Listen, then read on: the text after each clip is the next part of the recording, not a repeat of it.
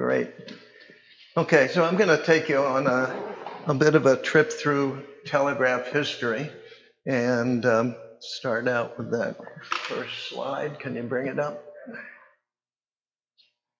Okay, um, the history of telegraph keys, and it goes way, way back, and so uh, there's a lot to cover here, but I think you'll find it interesting. I certainly have for many years. Um, my own history with telegraph keys started in 1953 at the age of 15. That's me over there. And my parents had a lot of money. So I could, I said, Daddy, I want a radio receiver. And he said, okay, kid, go buy one. I said, Daddy, I want a Collins receiver. He said, no problem, just go buy one. so I went down Radio Row in New York. I bought this lovely 75A2 receiver and uh, tune it around a little bit. And then I got my ham license. I said, Daddy, I want a radio transmitter. I want a Collins radio transmitter. And he said, okay, kid, go on, buy one. So I went down there and said, I want the 32V2. And the salesman said, sorry, kid, can't sell you one of those. I said, what do you mean? And he said, every ham has to build his first transmitter. I cannot sell you one of those. And he said, I'll sell you a kit. And he sold me an Eico with an 807 final, and I built that thing, and that was the best thing anybody ever did for me. If I'd bought that Collins, I would have been, yeah. But building a set and damn near electrocuting yourself and putting those parts in and learning when things weren't working and zap you a little bit, oh, that was great. And then I went back to the same guy and I said, I want a telegraph key. And he sold me a 32V finally, but I said, I want a telegraph key. And he said, okay, what do you want? And I said, well, I want one of those fancy Vibroplex chrome plated bugs. And he said, well, okay, I'll sell you a Vibroplex bug, but how fast can you send with a straight key? And I said, well, I could send maybe 10 words a minute, something like that. And he said, sorry, can't, can't send you, sell you a Vibroplex bug until you can come here and send 20 words a minute on a straight key. And they said, it's just a fact. You don't want to go to a bug until you're good on a straight key. And that guy, again, he saved my life. I mean, if I hadn't been forced into it, this rich little kid would have had a Vibroplex bug and two Collins rigs and never have any clue about radio. So it was a, it was a great start. And as you can see, one year later, I had not only built the Eico, but I had built uh, a great big uh, radio transmitter here, of 813s. Can you come back to that one again? Okay, of 813s, and uh, you can see all the goodies that I have over there. This one particularly noteworthy. It is a uh, Hallicrafters DD1, Delta Delta 1. It's a dual diversity receiver. They only made about four of them, and they're just beyond priceless now. But uh, in those days, they were maybe 100, same price as a Collins. And what that thing has is two entirely separate tunable front ends, and you can lock them together and you can hook it to two different antennas. So you can pick out which antenna is pulling in the strongest signal and listen to that antenna. It was just one of the really early attempts to get dual diversity, which means multiple antennas and picking the strongest signal and stuff like that. So I had one of those, and that's why I really got into ham radio, and it's been downhill ever since. I filled an amazing amount of space with ham gear, as you can see there.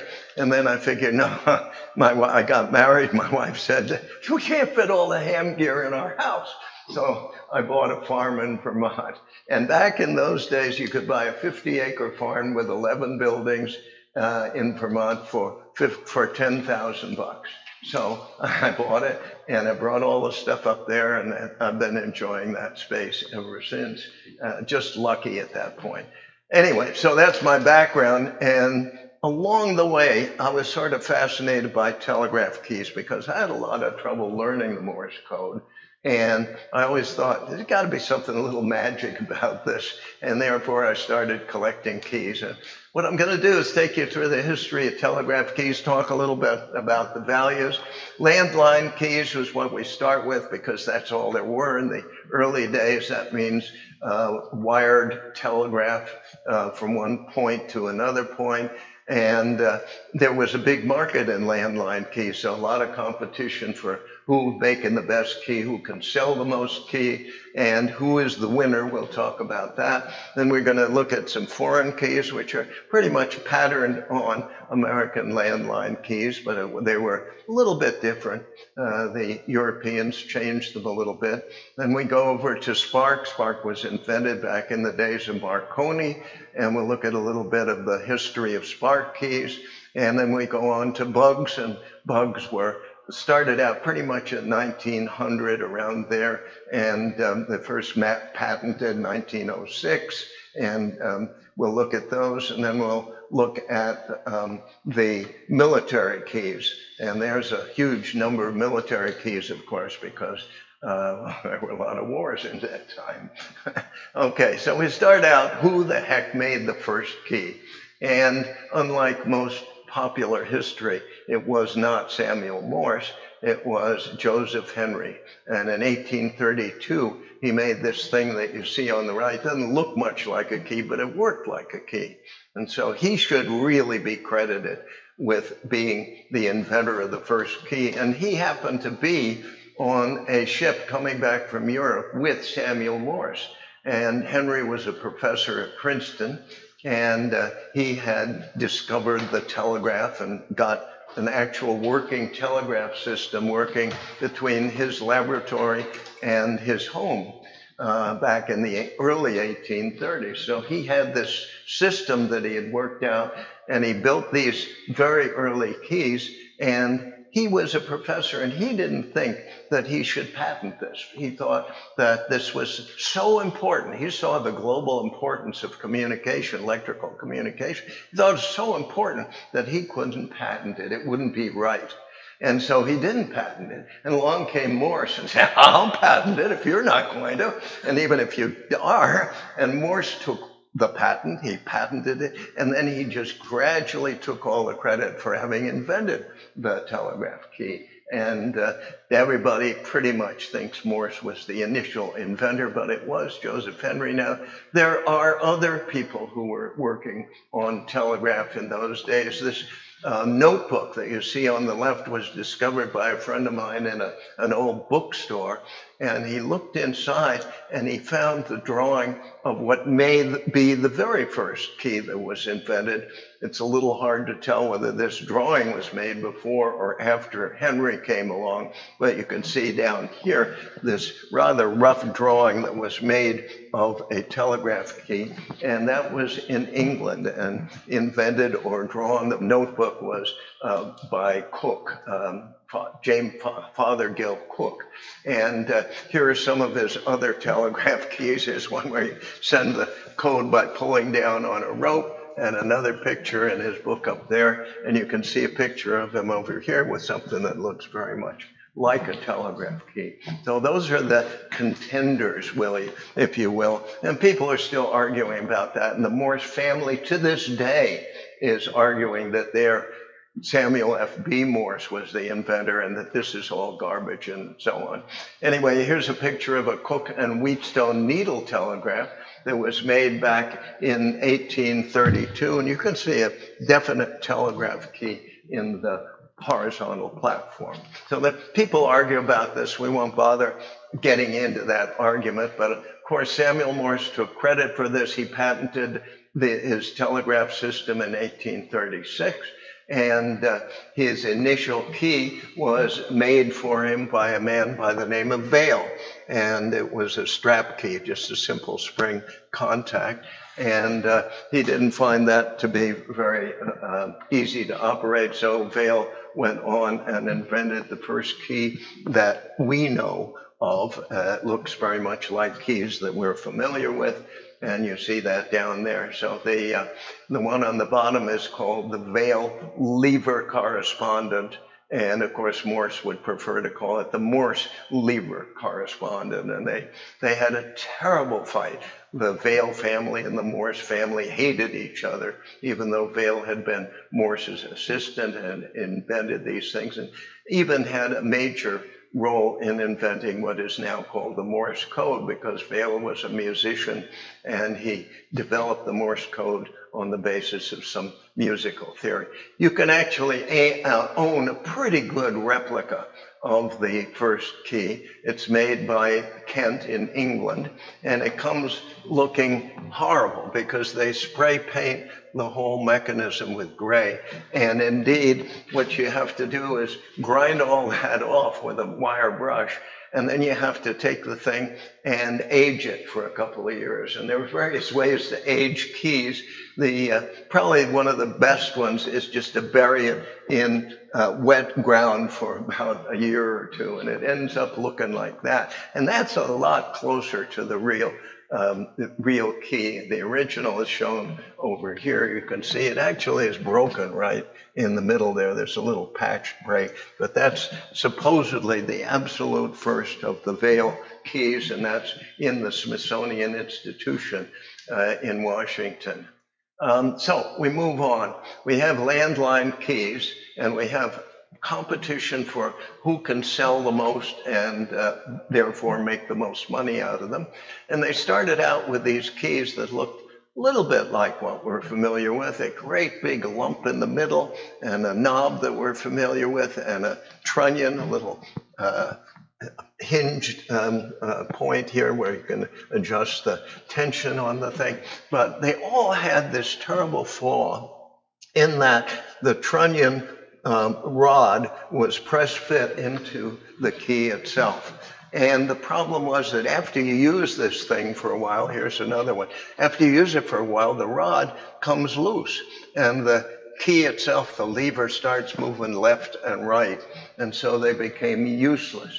And that's one of the reasons that camelback keys, as they're called, because they have this hump, some of the old timers call them humpback keys, uh, are so rare because people threw them out. Hey, this key's worthless. It's not working anymore. I can't fix it. Throw it out. So it's very hard. If you see a camelback key, they generally are quite expensive and quite rare. Running back here, if you were to find one of these, uh, you would be capable of getting maybe $7,000 for it from a collector.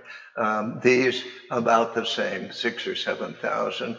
Here's another one. I actually paid 5,000 for this one. It's a beautiful, beautiful camelback. And again, you can see there's nothing keeping that rod in place. So eventually the lever's going to slide back and forth and be a, be a problem for you. Sometimes you find tiny little ones and it's hard to imagine what they are used for unless maybe they're put inside pocket spy telegraph sets. But this is, again, obviously a camelback. So the first thing you want to recognize in any key that you're looking at is whether it's a camelback key or not. And if it is, you say, oh, this is important. And as you'll see, there are other turnoffs when you see a key that you can say, well, this is worthless, essentially. Okay, here's another camelback key. Can see the lump in it. Nobody has any idea why they put that there. It serves no purpose, doesn't help with the balance or anything. And again, you see that darn pin, which can slide back and forth in the design and a major design flaw. Here's another one, beautiful key. This is not a camelback, but it's a beautifully carved straight lever key with a drop in it. And it's something that came along just a little bit after the camelback era. So we're looking at uh, uh, evolution in values from maybe five to 7,000 for a beautiful old camelback down to maybe 1,500 for something that looks like this. But again, the critical thing is look for a brass lever and look for a unprotected pin going through the thing. And those are indicators that they're old and therefore valuable. If you have any questions, feel free to ask me. Here's another one. Um, and you'll actually see this one on display in my by my uh, telegraph setup out there. And again, you can see how this thing is uh, going through there. And again, it doesn't have a camelback, so it's a little less expensive and valuable than the others, but it does have what are called legs. And these legs were designed to actually go through the operating table. And the connection, the electrical connection, this key was made under the surface of the table. So you just plop this thing on, connect underneath the table, and it got rid of messy wires and stuff like that. And uh, so that was the history of the very early competition. And every one of those makers of those keys was in competition with every other maker for who could make the best key and therefore sell the most keys. And in 1888, a man named uh, Jesse Bunnell came along, and he had been uh, one of the telegraph operators, it is said, uh, for President Lincoln. And Lincoln had an elaborate telegraph station in the White House. And uh, it's interesting because that's during the Civil War. And if you look at virtually any book on the Civil War, you look in the back in the index, you look up telegraph, it isn't there. Most of the historians of the Civil War don't even mention telegraph, which is very strange because it played an immensely important part in the strategy that Lincoln used. He was getting telegraph signals from all his generals during the war, and yet it isn't mentioned. Anyway, uh, Jesse invented what he called the triumph key. And it was a triumph because he said it was the last key that would ever be invented because it was perfect. And you better buy it. And he was basically right. The Triumph key was so different from the others. It had a steel centerpiece here, and the trunnion was not movable. It was part of the steel. So nothing could go wrong with this key. And they were very, very cheap to manufacture. You didn't have to machine um, complicated brass uh, levers. Instead, you could just stamp these things. And so they were cheap to make and they took over. And people literally threw out all the other stuff that we've just looked at. And that's why they're so sought after by collectors. They're hard to find. And so Bunnell's Triumph key was the critical point. And remember that you're looking at a key. The first thing you look at is the lever a steel lever? If it is, the value of that key cannot be more than $100. It's just way, way down. And even a beautiful one like this, and this was his very first model with little screw down additional things on the terminal, you can't get more than $100 for that. Whereas if that had been a camelback, you're talking $3,000, $4,000, $5,000. So that's the first takeaway from the talk is look for the lever, and if it's steel, it's basically not worth anything. Here are some examples of steel lever keys. You'll see them everywhere. Every telegraph office in the world literally used these, or in America certainly, because they were a triumph. They, they were very well designed. Nothing ever went wrong with them. Look at a J38, same design, World War II, and uh, perfectly uh, delightful. And the problem was that Bunnell couldn't sell them for a lot of money. Had to charge, you know, $3 for maybe a key like this and uh, uh, 50 cents or a dollar for these keys back in those days. So it wasn't a great deal of money in individual sales, but he sold thousands and thousands of them. Think of every telegraph office in America having one of these. And at some point, he put his name up here, Bunnell, on his Triumph key. And here's a, a pretty one. It's nicely shined up. It's uh, mounted in association with a sounder. But a set like that shouldn't be worth more than about $100, even though it's very historic. It dates back into around 1900 or so, and it's pretty to look at. But because it has a steel lever, tens of thousands were made. And anything that's made in that kind of quantity is not going to be very valuable. Now, here's another example. Bunnell decided that this, this key was too expensive for people and too expensive for him to make. So he stamped this one out of metal, the, ba- the uh, base of the thing out of metal, and put the stamped key in the middle. And he sold these things for about 50 cents a piece. $1.50 if you wanted the sounder and the key on the board. So he was into volume sales and uh, he had a product that had no competition, literally. This is the one exception uh, in which he built these tiny miniature keys, very small, very, very small. As you can see, that's my hand there. And these keys were totally functional, both the sounder and the key, and they were typically given uh, as gifts to old time telegraphers, and they were hung on uh, the keychain, for instance, of, of these guys, or the watch fob. And that's why that little hook is on the end there.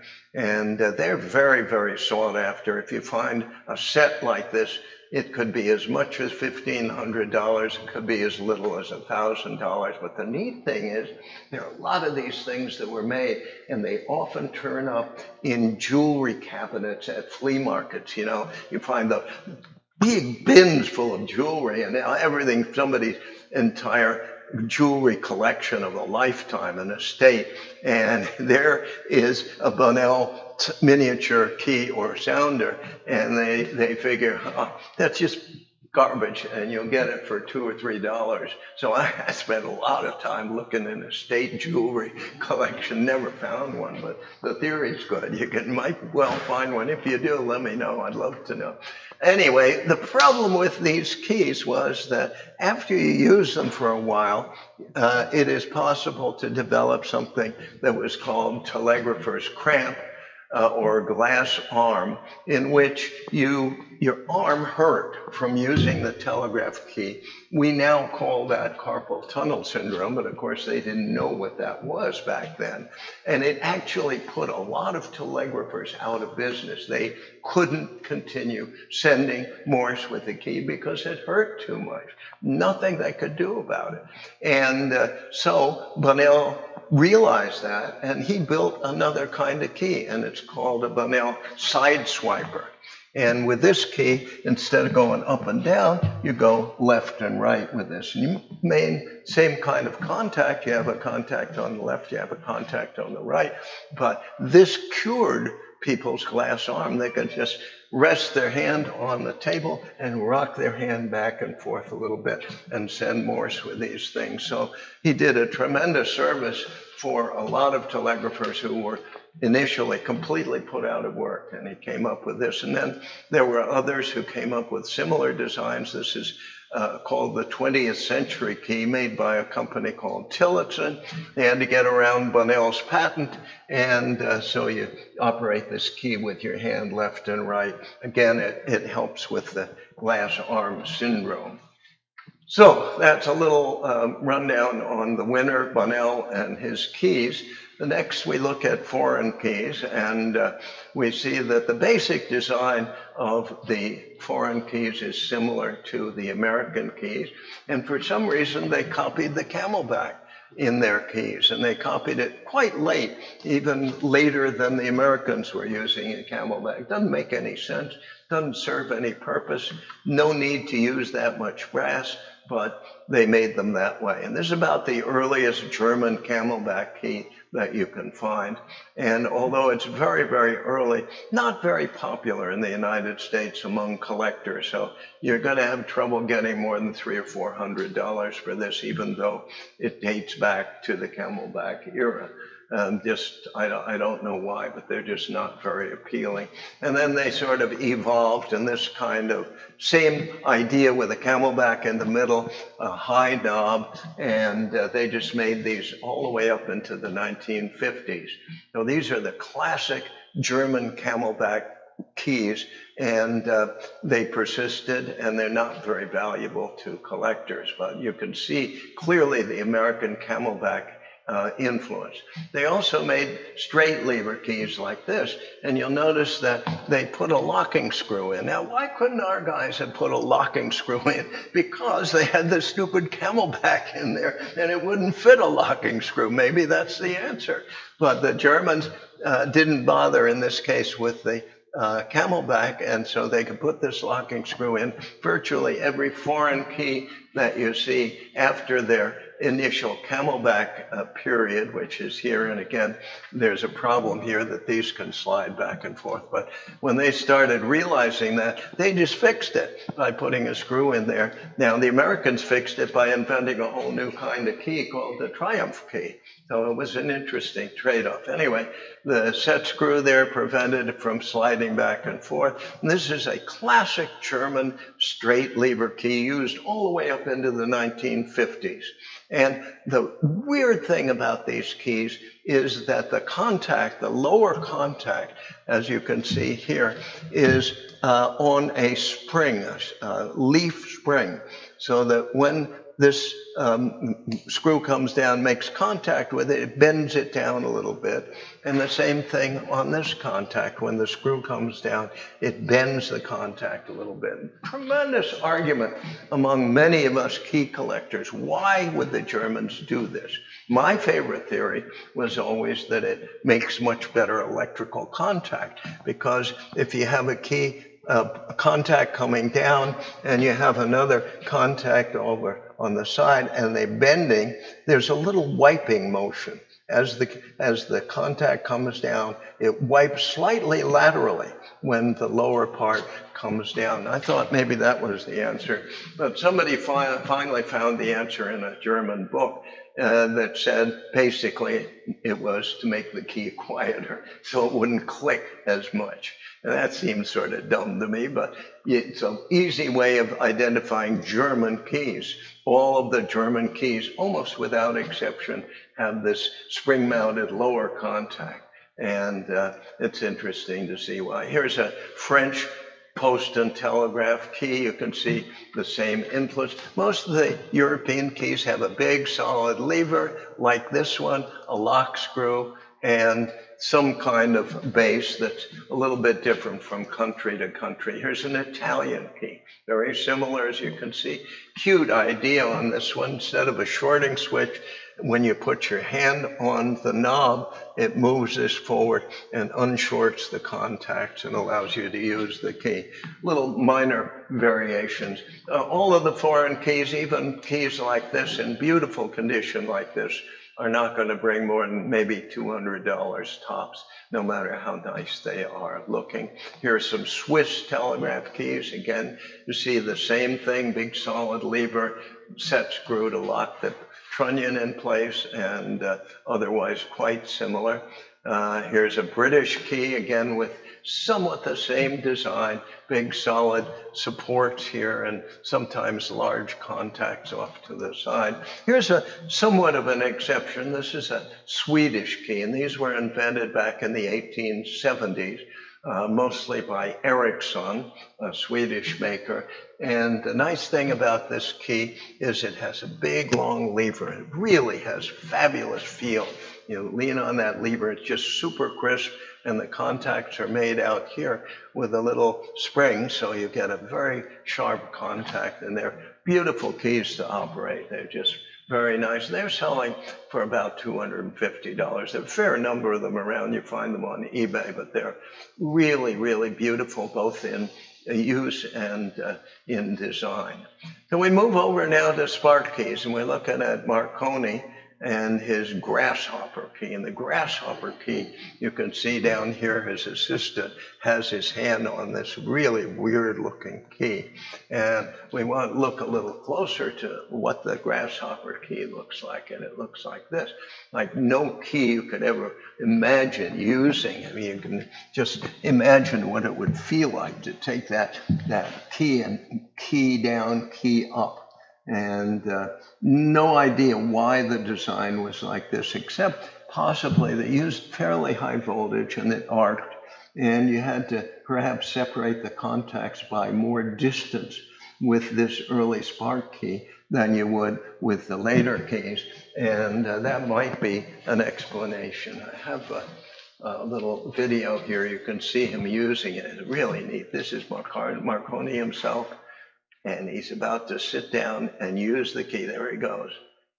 Dit, dit, dit, da, dit, dit, dit, da, dit, dit, dit, uh, I don't know quite what he's sending, but uh, anyway, that's the way the key looked when he was sending with it. And he was very proud of his invention, and rightly so, I think. If you could find a, a grasshopper key, uh, most collectors would think you were God. there are only two or three of them known to exist. One I've seen in the Science Museum in Prague, and I don't know of any others, but that that's sort of the holy grail of all keys. If you could find that key, an original, you'd be, uh, uh, people would bow down and say, You're the greatest collector in the world. They're just not around as far as I can tell. And uh, if you move on to another of the Marconi keys, this one is also very rare and very much sought after. It's called the guillotine key. It's sort of like this was a big knife for cutting off people's heads. And this big arm here on the side of the key is held up by a piece of rope and it keeps that up. And if the contacts get welded together uh, on this key, uh, pulling that arm down shorts out the system and allows you to try and break the welded together contacts. And this is for use with a very high powered spark transmitter, so those contacts are liable to fuse together. Uh, these keys, I, I had one, I sold it for $20,000. They're about as rare as any key can get it that is short of a grasshopper key. So they're very much sought after. There are probably four or five of them around. The uh, sister ship of the Titanic had one, the Carpathia. And this one I just turned up was in some guy's backyard in England. He didn't even know what he had, but uh, I did. anyway, and many people have made replicas of this key. It's such a popular and historic design. This is a a British ham who made this beautiful replica. And a friend of mine, David Halle, uh, Vermont ham, decided that he was going to make a miniature um, Titanic guillotine key. And this is it down here. And he made it so perfectly, came over measured every aspect of mine, including the thread pitch. And he was a pretty good machinist. He made this thing absolutely perfectly. So there was just no way to tell that it wasn't an original Marconi design, even to the nameplate, uh, but in miniature. And he sold that key for about $8,000. So you're getting into pretty big money when you're talking about the Titanic uh, keys. And Kent in England makes a replica of the Titanic key, which they call the Titanic key. And I think you can see it's a pretty poor replica of the key, but it's still a replica. And if you want to have something on your table that looks a little like the Titanic Marconi key, then you can buy the Kent. And it's, it's close, sort of. Uh, we look at other kinds of is a World War I submarine spark key. And again, with spark transmitters, you're keying a lot of current, and the keys, the contacts spark when you key the transmitter. And in a submarine where the atmosphere in the submarine may be explosive because of the battery chemicals, uh, batteries give off hydrogen, you don't want open sparks in a submarine. You definitely don't want open sparks. So they designed what they called a flame-proof key. And that means that the entire contact assembly is totally enclosed uh, out of the air, and there's no way that the spark of the contacts closing when you press the key uh, can ignite the atmosphere. And this is a Marconi World War I submarine key, and that would be worth anywhere from five to six thousand dollars. They're quite rare because there aren't many uh, submarines that didn't sink at one point or another. And uh, uh, when you scrap a submarine, you're looking primarily for the scrap metal, and they don't bother taking things like valuable telegraph keys out. They just scrap the whole thing and melt it down. Here's a typical World War I American Navy key. This was used on thousands of, make it hundreds of, destroyers in the North Sea during World War I. And they're quite rare and very beautiful. They're just have a wonderful balance to them. You can see where the electrical contacts are made through the table, and so you don't get electrical shocks there. And these would sell for maybe between uh, 3,500 to $4,000. If you had a nice one like this. Uh, this is a German World War I Air Force flame-proof key, and you can see that the contacts are enclosed so they don't ignite the uh, aviation fuel that might be floating around inside an airplane. There's this uh, oil-filled cup there, and uh, nobody's fully sure why the knob oh, looks like this on German Air Force keys, except that they didn't have very good heaters and you had to wear gloves and very heavy clothing. And if you're going to have a glove on, it's easier to key something if you have a big handle to press against than if you're trying to find a little knob. So that's the general explanation for why those high knobs are present in German keys. There's another German World War I Air Force key. And we go to American keys, and this is a key that was used to key the big uh, spark transmitters on shore. And it was made by Massie. And there's a guy in uh, Radio Row in New York named Phil Weingarten who made counterfeit copies of this. And he sold them as original to people for $5,000. And that was, what, maybe 30 years ago. So $5,000 was a lot of money.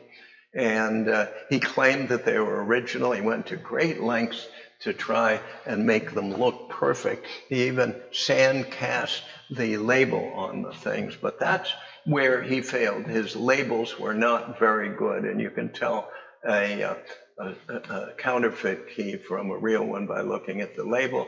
He also was dumb enough, instead of um, putting a brass screw, uh, he put a cadmium plated 1024 uh, one quarter 20 screw into the handle there and you unscrew the handle and you can see that and you know that's a counterfeit.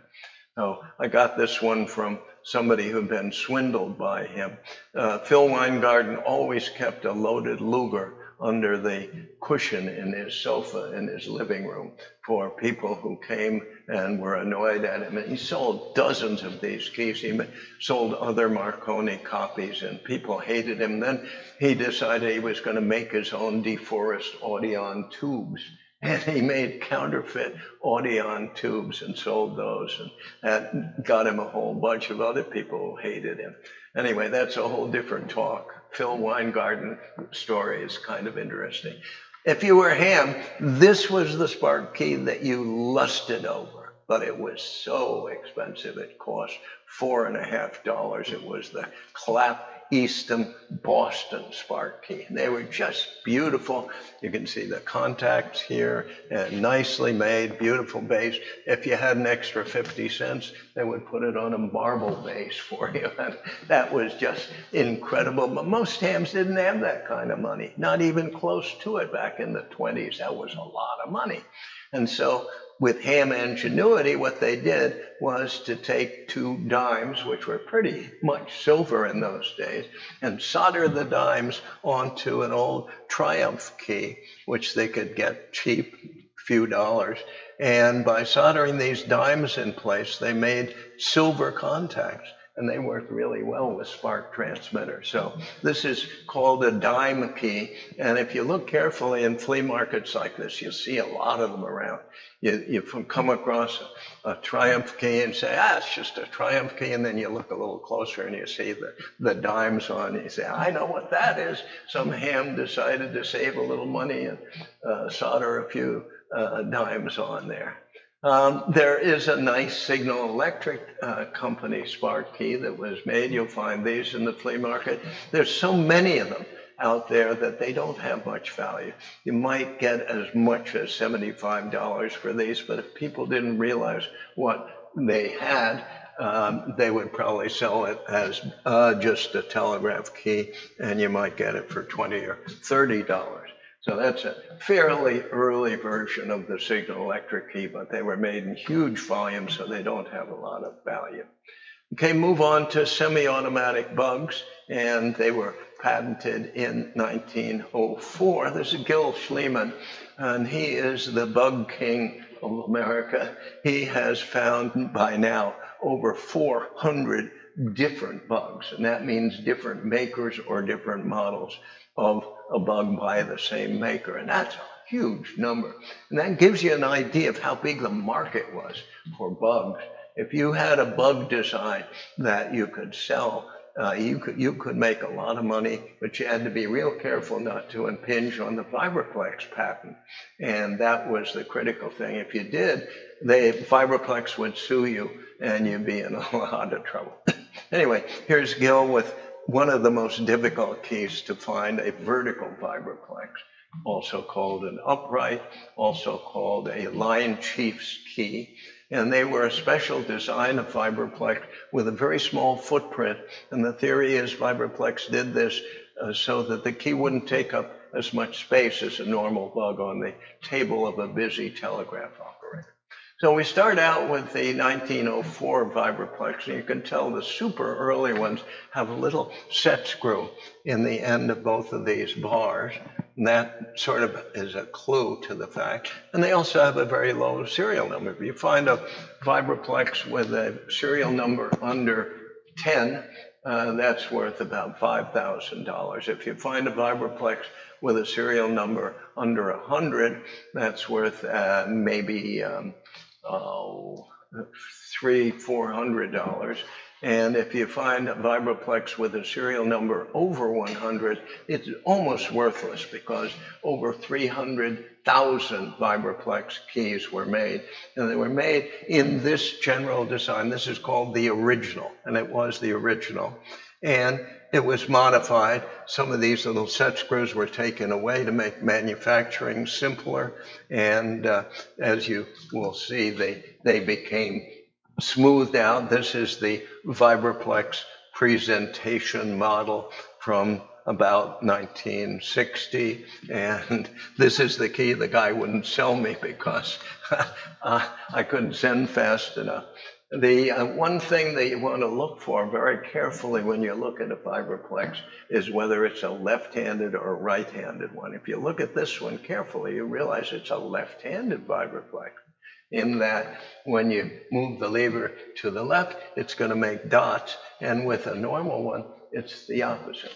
So if you find a left-handed Vibroplex, you triple the value. But even so, this key beautiful condition is not going to sell for more than $100. And if you have a lefty, maybe you get 250 to $300, and they're pretty rare. Anyway, move on to look at how the original changed. It didn't. they took away a few screws, they did a few things differently, but basically the original was made and is made in about the same way as it always was. During the war, uh, the uh, Vibroplex company couldn't make enough telegraph keys uh, to keep up with the demands of the war, and they actually licensed other companies to make this key. It was uh, called the J36, a military key for World War II. And uh, uh, so there are a lot of these around, tremendous number. They sell for about 150 bucks with the Signal Corps label on them indicating that they were military. Now, Vibroplex did some strange thing. This is basically a Vibroplex key, but they narrowed down the base and they put little legs on here to stabilize it. And this is called a Vibroplex midget. And this was not a popular key. And immediately recognize when something's not a popular key. Ha ha, collectors want it. It's valuable. A midget uh, has sold for as high as $9,000. Um, uh, I had one, I think I may have sold it for 7,000 at Dayton. Um, they, are very much in demand by collectors, but uh, they were not great keys and they were not a great design, but they are very rare. Um, here's the Vibroplex vertical. Again, very small footprint on the operating table.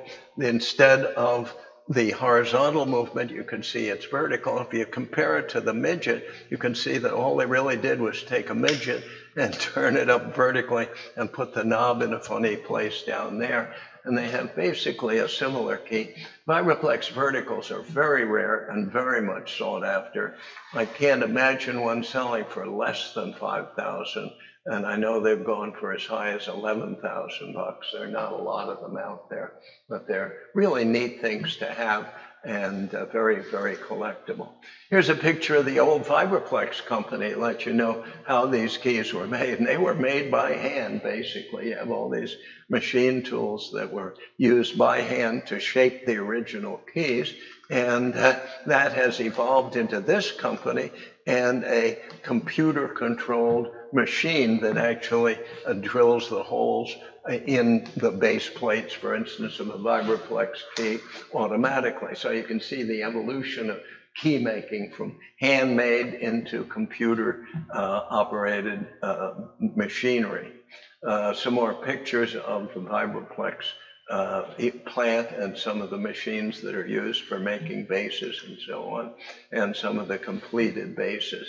So they're still going at it. They're hand assembling the keys, as you see here. And the beautiful thing about the Vibroplex company is that they aren't quitting on people after they sell a key. If you have a Vibroplex key, you can send it to the company and they will look at it and they will make out a list of things that it needs. And then they will hand refurbish it for you and send it back to you. And no matter whether it was made 50, 60, 70 years ago, and it's amazing that that company does it. It's uh, very, very uh, inefficient of them, but it's a beautiful thing to do for all the people that bought Vibroplexes in the past. I'm very impressed by the Vibroplex company. Along comes a guy named McElroy, and he says, ah, I'm going to make some keys and I'm going to make them just different enough so Vibroplex can't impinge, that I'm not going to impinge on the Vibroplex patent. And he made a bug that looks like this. I have one up here on the table you can take a look at. And uh, McElroy was a real salesman. He was a pushy salesman. And uh, one of the things he did was to cast the base of his key as a brag sheet. Uh, it says, patent applied for 1934 semi-automatic telegraph and radio code transmitter. Mac key 984, he says. Manufacturer, and this is using telegrapher shorthand, manufacturers adjusted and guaranteed by T.R. McElroy, world's fastest radio telegrapher, Boston, Massachusetts. So these are neat keys to have because they really are solid. They have a nice solid base and feel free to come up and play with this one that's up here. You can see the casting in the base. Very exciting to see a, key like that and to get to play with, but they're still, they don't sell for much. You, you can usually find them if they don't, if someone doesn't realize how nice they are, they'll sell them for a hundred and quarter maybe. Uh, the maximum you should have to pay might be $200 for one, depending on condition. McElroy also said, you know, a bug should never be made shiny because the light will get into a telegrapher's eyes. And then somehow he had a turnaround and he made shiny bugs. This is the Model 600, maybe two, three hundred dollars on. I just saw one down in the lower parking lot, um, and and I don't know why he changed his mind, except that I think he thought he could sell more keys if they were shiny than if they were black, and so he gave up on his telegrapher should never. Anyway, so that's McElroy. Now, McElroy also wanted to make money, and so he made a really cheapo key, totally stamped out of steel metal plate, just like a, a Chinese kid's toy, just stamped out of metal. It is the cheesiest, junkiest feeling key when you lift it up. But that is one of the most valuable keys in the world. That is a key that is sought after by virtually every collector that knows anything about telegraph key collecting because everybody who had one threw it away. he may have sold quite a few of them, but it, they're such garbage that people just threw them away. And so there are very, very few of them that have survived. I managed to find one in 40 years of hunting And I think I sold it at Dayton for maybe eight hundred, uh, eight thousand dollars. They're just incredibly rare and ugly and terrible. It's not even something you want to have in your display cabinet. It's that bad. and then there's another one. Bunnell decided he wanted to make big money, and instead of just copying Vibroplex or doing something like Vibroplex, he designed his own, own bug and to make it look better, he gold plated the damn thing and he called it the Bunnell Gold Bug. And it is singularly the worst feeling bug that's ever been made. You can perhaps see that when you move the lever back and forth, the uh, contact out here is going to bend and it's a mushy feeling bug, nothing crisp about it. And it's just awful. It's so bad that he didn't sell very many. And that immediately said, okay, they're valuable. But uh, the problem was he made many. So there are a lot of them out there, and he didn't sell many. And he finally, he ended up with um, terminal uh, Arrow, Arrow Electronics. And if you bought $50 worth of stuff from Arrow, didn't matter what it was, condensers or radios or whatever test equipment, they would give you a free Bunnell Gold Bug along with your purchase. Somehow that's to. so they were literally giving these things away. They're eh, nice to have in your collection. They look nice, but uh, it's not something you want to put on the air very often. Uh, another guy came along with a different design. He said, you know, people should be able to rotate the knob out at the end a little bit to fit their particular style. And so he put in this rotatable mechanism, and you can actually rotate the mechanism, the central part of this key, all the way over to make it into a straight key or all the way back so you can key it at almost any angle you want. And these are no, not very rare. He made a lot of them. Uh, Dow made typically in Minnesota and in Canada. So these these are maybe around $300 if you find one in this kind of condition, which is pretty good. Uh, the British made a really weird key called the Eddystone Bug Bug. and it looks a little like a bug. And uh, the real sales point of this was the nice shape of the thing. But when you unscrew the top, you find that it's basically just a bug. It feels nice, the lever is nice, but they, they supposedly only made 200 of these, um, maybe looking for the antiquity market, but even so, they're only worth maybe $300 uh, to a collector. This is an attempt at a fully automatic bug. A guy named Mel Hansen uh, developed this bug known as the Melehan. He lived in California, and uh, this is the dash lever over here and the dot lever over here, and you have two paddles, so you can make dots on one side and dashes on the other, and they're both automatic. These are very rare keys. Uh, he only made a few of them because they were really terrible. and it was almost impossible to adjust them. Look at all the many adjustments on the thing. People who have them have a lot of trouble getting them to send well. Um, but with a key that's only few of them are made, it's very valuable. And they're running in the seven to ten thousand dollar range also. And here is an Australian Automorse, fully automatic bug. And for some reason, although the design is fascinating, the key is fascinating, they don't bring a lot of money. You can sometimes find these for two to three thousand dollars as opposed to a Melehan, which will bring eight to 10,000 thereabouts.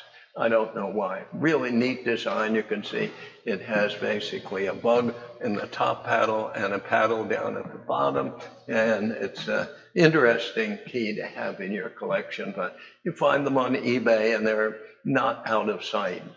Um, now we move over to a German World War II bug uh, called the Novaplex, very straightforward design.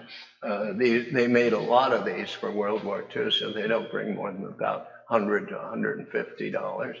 And a man by the name of Gerhard Schur, a German, um, very meticulous machinist, made this beautiful bug, which he called the uh, uh, the Millennium bug, the 2000 bug, you can see labeled it down here. It didn't make very many of them, but they're pretty rare. They're uh, probably worth between a thousand and two thousand dollars. Very nice bug to have. Here's a picture of him and me in my younger days. Uh, and he has just given me that bug that you see there as a present. And uh, he's looking very proud. He's a pretty neat guy. And here are some pictures of him making the bug. He does it all by hand and uh, just does a beautiful job with it. And he more pictures of him at work. You can see him, all of this stuff totally by hand. But the neat thing, he's built this incredibly complex a testing machine. Uh, and what it does, proofing means uh, testing in German. And this thing actually operates the bug for days and days to make sure it keeps on working properly. So every bug that he sold, and in this case it's a paddle that he sold, uh, he tested with his machine. And of course, as you can guess, he charged appropriately for these. I think he got uh, about $800 for the bug, and uh, his paddles were uh, maybe 300 roughly. But neat guy to know. and we have all kinds of nutty people out there, like Richard Mice, WB9LPU, who continually design different and unusual bugs. And they just seem to get off on doing that. Now, this is what he calls the rotobug, and it's magnificent, just incredibly well designed. The speed is adjusted with this little weight up at the top, and uh, you can see it has uh, magnetic contacts, uh, reed switches for the operation of the key.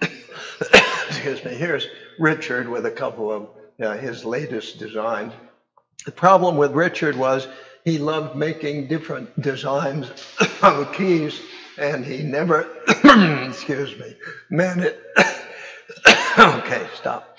Uh, he never managed to go into production on any of these. He just loved. He'd get one, he'd make it, he'd give me a, a, one of them, and he'd say, "Okay, now I'm off to another project." And people would just die to have some of his designs, and he never sold them in any quantity.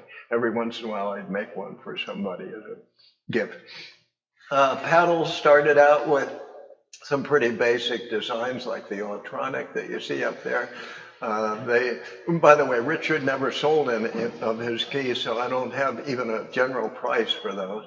The Autronic paddles were uh, up at the top there. You see them, they're early paddles. And the one on the bottom is made by a German key maker named Hannes Bauer. And the problem with Hannes Bauer is he was just like Richard in that uh, he never stuck with a design. So he'd make two or three of these things and he'd say, ah, gotta fix that and change it. And he'd change it and then he'd change it again. And then he'd stop making his paddles and he'd go over and make some bugs and then he'd go back. And again, uh, he never made any more than I think three or four of a particular design at a time. So they're pretty valuable among European collectors, but uh, uh, in America, the Autronic paddles would bring maybe um, 70, 60 or 70 dollars. Uh, Hannes Bauer, nobody recognizes that name, so you can often pick them up very cheap, uh, maybe 40, 50 dollars, and certainly that price in Germany. Um, this is the weirdest paddle I've ever seen, actually made by a Swedish company in which they just mounted a hacksaw blade in between two contacts and called it a paddle. And uh, a lot of those, I'm amazed, they, they show up all over the place. So they were pretty popular, despite the fact that they're just about the ugliest design you could imagine. Lots of other paddles. Brown Brothers are fairly famous, and uh, they go for a reasonable amount of money a paddle and straight key combination might bring 150. Thank you. You're great. And the Kent made paddles over there, and there are a bunch of individual people that made uh, interesting paddles. You'll see some of these in the flea market. They're interesting designs, but none of them bring very much money. A Brown Brothers combo might be 150 to a collector. Uh, the other paddles, even though the ones on the bottom were initially sold for a lot of money, maybe uh, six, eight hundred dollars. They, you can find them around typically for fifty or a hundred dollars at flea markets. And they're just sort of the designs that these people came up with. Excuse me. The um, Sideswiper paddle was also uh, possible to make your own by just taking a couple of J38 keys and mounting them. This was a QST article that sort of put Bunnell out of business with his Sideswiper. You could make these, and in the days when this design came out, you could buy little J38 straight keys. And I hope you can see how the J38 straight key is very similar to the Triumph key metal lever and all. You, could buy those for 25 or 50 cents a piece and make yourself a paddle for a dollar or two. Um, moving on to military keys. Um, everybody okay with another five or 10 minutes? Okay. Military keys, we start out with the Civil War, and that's pretty neat. Um, telegraph was very important during the Civil War. Uh, Lincoln used it extensively in his telegraph office. And uh, Civil War telegraph keys are very valuable because there are not many of them out there. And many people don't even know about the role of the telegraph in the Civil War. But here's a classic Civil War Phelps telegraph key. Notice the camelback. These sell for about $2,500. You'll see one in my display over by my tent. Uh, and uh, they're very nice pieces to have in your collection.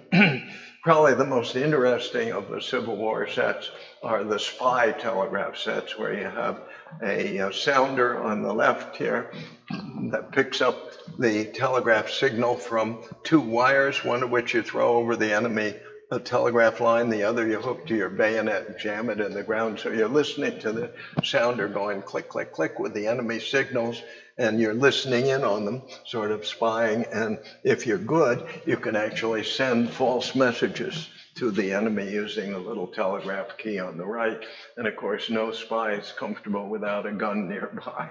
Uh, here is a very, very extremely rare Civil War telegraph set, and that's the set that I have up here on the table. It's a set that nobody's ever seen before. We don't even know what kind of box it came in, but uh, if you find something like this, it's generally worth uh, someone. These sets sell for twenty-five to forty-five hundred dollars, and this set should sell for eight to ten thousand because it's a maker Chubbuck that is known for making Civil War telegraph sets. Um, but no one's ever seen one before, so it's, it's as rare as anything can possibly be. And you'll see it up here on the table. Uh, the American World War I field telegraph sets look like this, and they typically can be found for about 100 to 150 dollars. They have a neat little leather case and a little soft leather area right over the telegraph key that allows you to send telegraph messages without letting the mud get into the uh, operation of the machine. Of course, World War I had very muddy trenches, and this is referred to as a World War I field telegraph set or trench telegraph set. Uh, World War I uh, flame-proof key was used in air aircraft. A beautiful big knob, very nice feel to that knob, easy to use. They sell for oh typically forty dollars in flea markets, and uh, uh, these, yeah, 150 for these. Uh, this is the classic American World War II Navy key. Uh, very, very nice design, very easy to use telegraph key. And uh, I just saw one down in the flea market for $30. It's a real bargain if you're like sending. One of the questions about this key, since it's nearly identical to the German key on the bottom, is did the Germans copy the um, design from the Americans, or did the Americans copy the design from the Germans? We don't know the answer to that. The American J38 key, very popular, made by the tens of thousands, should be able to get them for um, as little as $25, but they're gradually going up to maybe $40.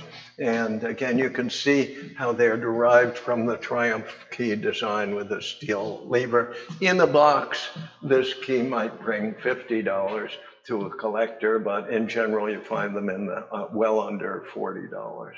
And uh, here's a similar key on a leg strap that was used during World War II by tank drivers. And uh, just very uncomfortable when you wear this thing for a while. I've tried them for uh, mobile CW and they really hurt your leg after a while. And they bounce worse than if you have it mounted on the vehicle, I swear, because your leg is bouncing around.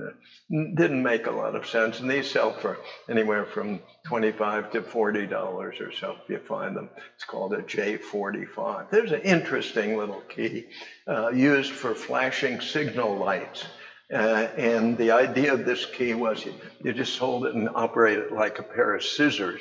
And you have a long wire, 20 foot wire that goes over to the signal light. And the idea is you didn't want to be standing by a signal light when you were signaling in the in the war because people would shoot at the light, and so you need to be separated from the light, and that's why the 20 foot wire would be uh, separating you, and you could use this off to the side.